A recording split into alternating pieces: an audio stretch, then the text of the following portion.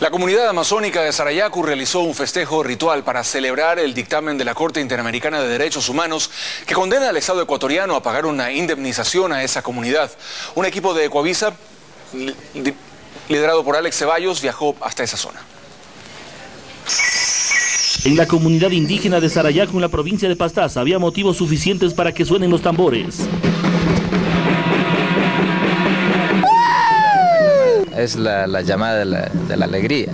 El pasado 25 de julio la Corte Interamericana de Derechos Humanos sentenció a favor de los Arayacu en una demanda presentada contra un proyecto petrolero otorgado a una empresa argentina sin consentimiento de la comunidad.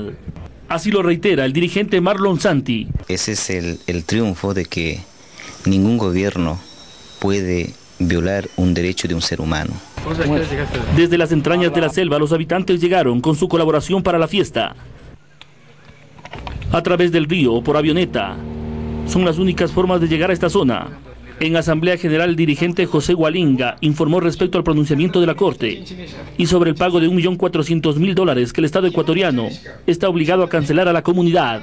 No solamente favorece a las 1.250 almas, como nos calificaron, sino favorece a todos los pueblos.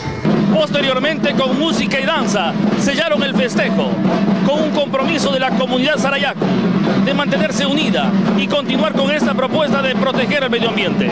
Ahora están pendientes que las autoridades retiren los explosivos que dejó la empresa petrolera cuando se disponía a realizar los estudios sísmicos.